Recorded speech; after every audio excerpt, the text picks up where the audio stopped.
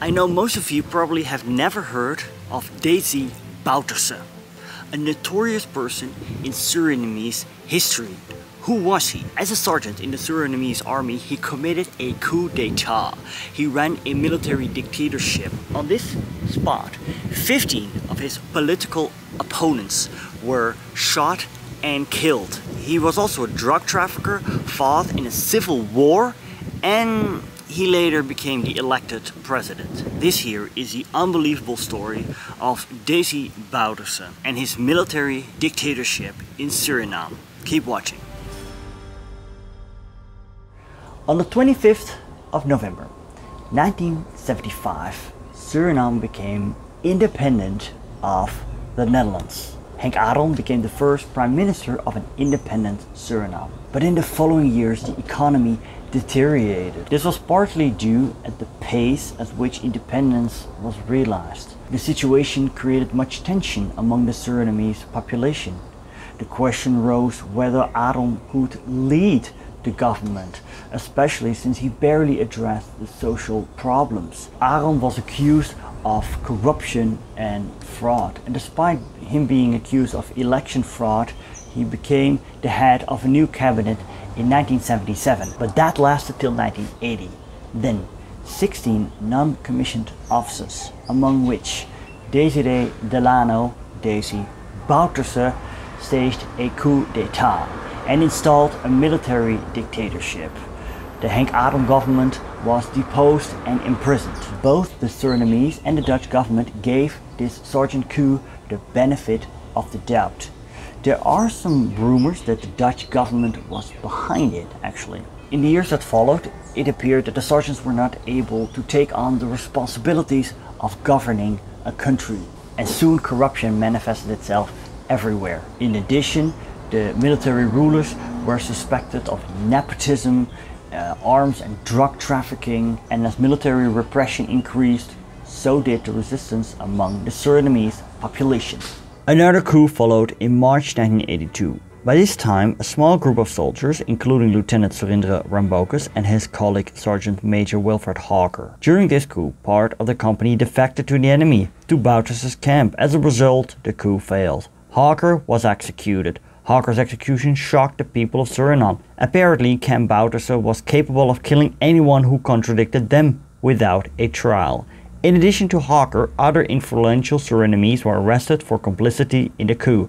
Although the involvement of some of the Surinamese was not clear, they were jailed anyway. Trade unions and people of Suriname demanded more democracy and several demonstrations took place during which Bouterse was called a dictator. When, in October 1982, Maurice Bishop, the president of the Grenada archipelago, visited Suriname, Bouterse gave him a warm welcome. During Bishop's visit to the military rulers, strikes and demonstrations took place in Paramaribo.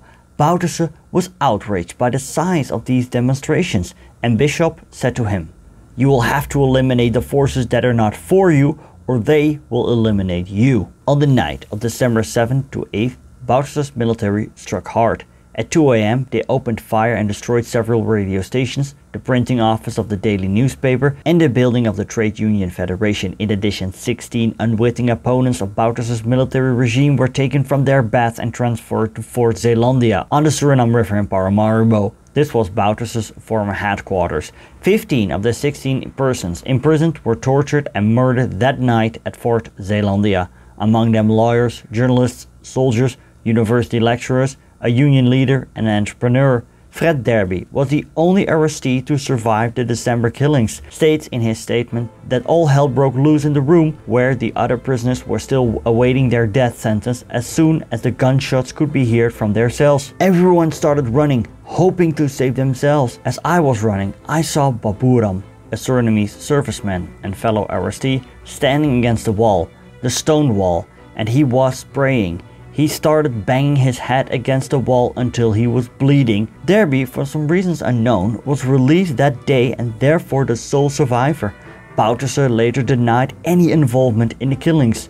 Under the military regime, the economic situation deteriorated and political freedom was increasingly restricted. Poverty, corruption, and black trade caused great discontent in the country. Who was also outraged was Ronnie van Brunswijk, a former bodyguard of Bouterse. In a 1986 interview, he stated, When I saw that he was doing everything for himself and nothing for the Surinamese population, I decided not to continue to work for him. He made all these promises that he did not keep, so many. It's not just about money, he promised that too, but nothing. He also promised that there would be free elections again. Nothing came of it. Ronnie van Brunswijk was trained in Cuba in guerrilla warfare and he set up his insurgent army which he called Jungle Commando. This interior war, which can be considered a civil war, revolved around the control of the east of Suriname and the cocaine trade there. The army of Desi Bouterse, the Surinamese National Army, took on the Jungle Commando, and the fighting was the fiercest from 1986 to 1989. The war particularly affected the Maroons, which were the descendants of the slaves that fled to the interior. Most notorious is what happened at Moiwana, known as Moiwana 86, which happened in 1986, where the Surinamese National Army slaughtered 30 civilians of the village Moiwana, among which pregnant women and children. Public infrastructure, roads, but also school buildings were razed to the ground. In total, around 300 civilians were killed as thousands fled to neighboring French Guyana.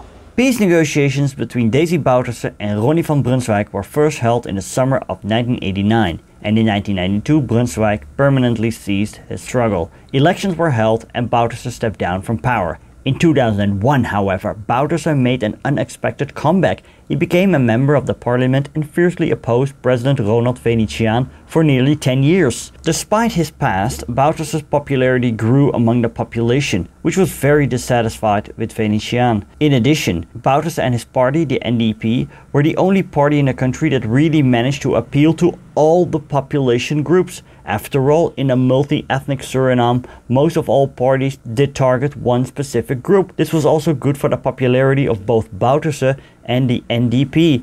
In 2009, he returned to power this time by democratic means when he was elected president.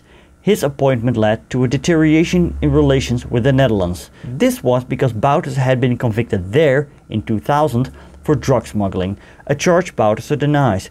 He also continues to deny his role in the December killings, even when he was sentenced to 20 years in prison in 2019.